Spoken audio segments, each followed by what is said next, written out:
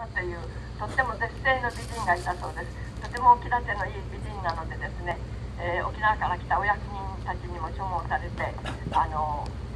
求められたんですけれど彼女はあのみんなお偉いさんをですねに一応記事説を食らわすんですね。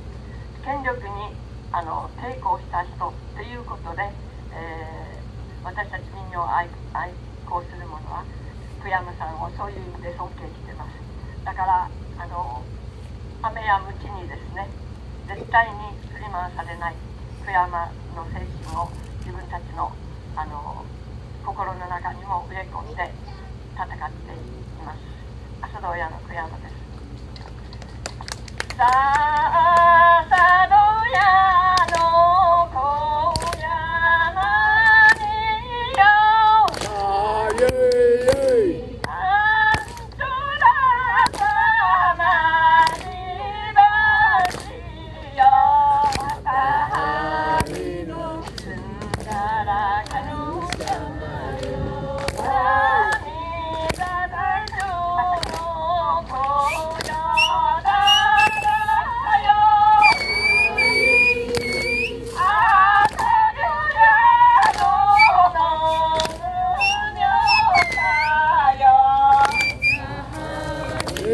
のちんだらかのさまよ